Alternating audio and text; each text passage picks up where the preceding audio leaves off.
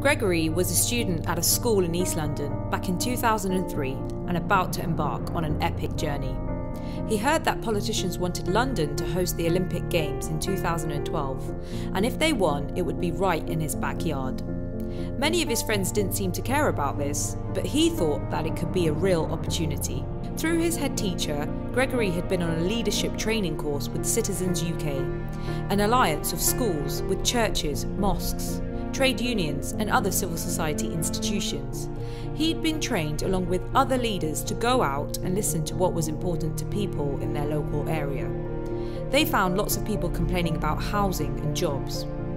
He pulled together a team who decided to act on what they had heard.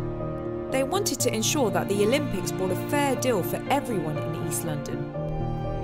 They created a clear set of demands and presented them to the people in power. At first, politicians leading the Olympics bid refused to meet with them.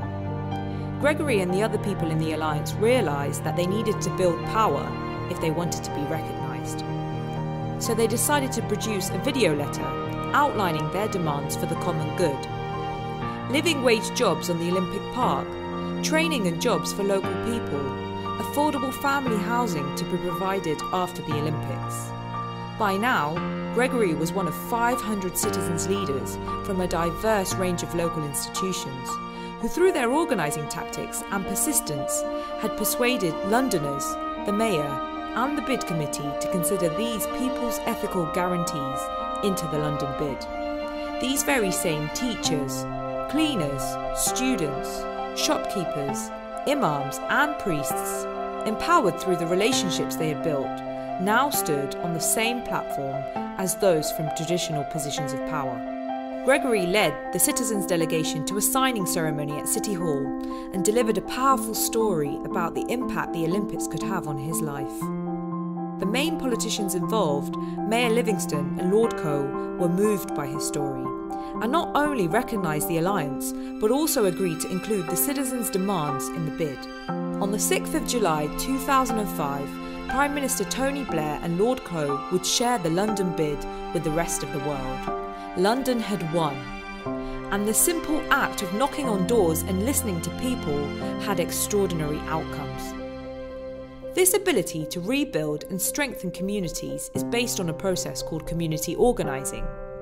It works to build a diverse membership alliance that is trained, to listen to local people, build teams around issues that matter to them, develop the art of public action, demand recognition from people in power, sit down to negotiate for what they want, focusing on the world as it is and striving to create the world as it should be.